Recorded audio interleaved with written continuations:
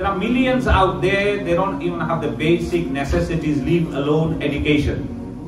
لَإِن شَكَرْتُمْ لَأَزِيدَنَّكُمْ If you are grateful, Allah subhanahu wa ta'ala will give you more. وَآتَاكُم مِّن كُلِّ مَا سَأَلْتُمْ Allah says He has given you everything that you ask for. وَإِن تَعُدُّوا نِعْمَةَ اللَّهِ لَا تُحْصُوهَا If you want to count the blessing of Allah subhanahu wa ta'ala, you will not be able to count them. So Allah has given us so much. The first thing every one of us today, before we stand up, we need to create that mentality in our minds that we have to have the ability to express gratitude. Like alhamdu wa shukr. That we say, Allah, for you is all praises, for you is all gratitude, because you have given us Iman, you have given us Islam, you have made us from the followers, the Ummati of Muhammad sallallahu alaihi wasallam. You have given us health, you have given us wealth, you have given us the ability to send our children to Baytul Ain to study the knowledge.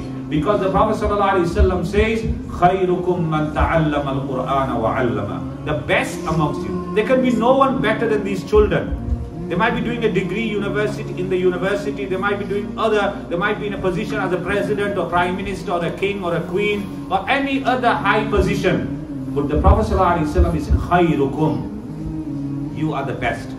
Who's the best? Those who learn the Quran and teaches the Quran. So the teachers and the students. Are you understanding, students?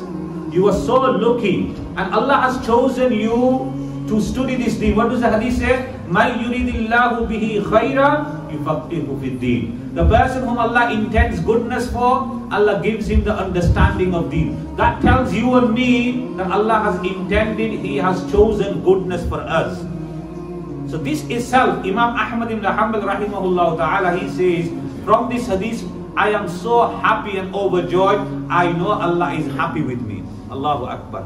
This itself is a great, great blessing of Allah subhanahu wa ta'ala. So this is very important that we keep that in mind. So that's why we need to appreciate. We need to keep on sending our children to the Islamic schools, help, assist, contribute, whichever way. Because if we are going to be neglectful, if we are going to be completely taking a back seat, being complacent, it's not going to work. So it's very important that when we get a blessing, we need to do the qadr, we need to express our gratitude, we need to value the importance and the significance of that blessing.